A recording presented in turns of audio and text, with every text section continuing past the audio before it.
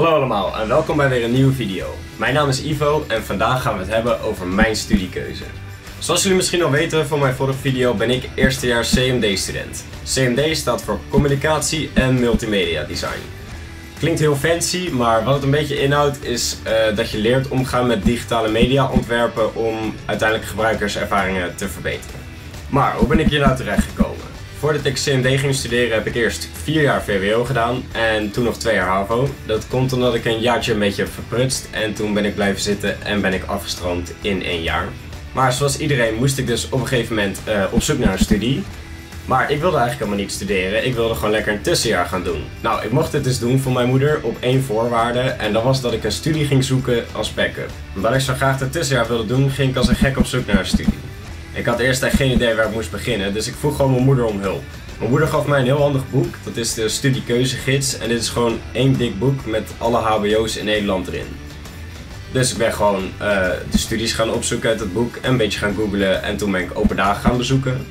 Toen ben ik gaan kijken bij industrieel productontwerpen. Dit is best wel een technische studie, maar ook wel creatief. Dus ik dacht, nou ja, dit is de perfecte combinatie voor mij. En toen kwam ik daar en dat was allemaal best wel technisch. Heel veel natuurkunde, wiskunde. En dat zijn eigenlijk precies de dingen daar waar ik helemaal niks mee heb. Nou, op een gegeven moment kwam ik toen bij CMD terecht. Communicatie en multimedia design.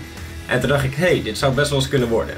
Nou, toen ben ik gaan doen is, ik heb echt nou, misschien wel zes uh, open dagen en meeloopdagen bezocht. Gewoon van alle CMD's uh, die bij mij in de buurt zitten. Nou, uiteindelijk ben ik toen in Amsterdam beland. En Amsterdam had gewoon voor mij de beste sfeer en paste gewoon het beste bij mij. En ja, zeg eerlijk, wie wie wil er nou niet in Amsterdam studeren?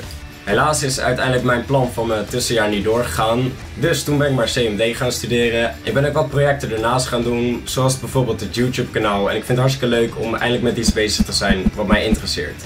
Dat is een beetje hoe ik bij eh, CMD Amsterdam ben beland. Ben jij nou ook druk op zoek naar een studie? Neem dan vooral een kijkje op ons YouTube kanaal.